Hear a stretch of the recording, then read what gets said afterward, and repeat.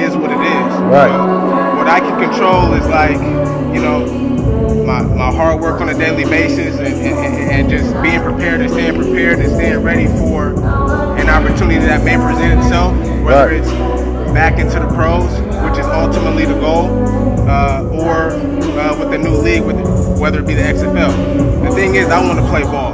Right. You know, I love the game. You know what I'm saying? And so, uh, Wait, hey, play. I can go to sleep, I'm paranoid, and there's way too many homicides. Bought a hundred guns, got my niggas slide. Fuck the bitch once, now she won't cry. Snitches told the feds I had an alibi.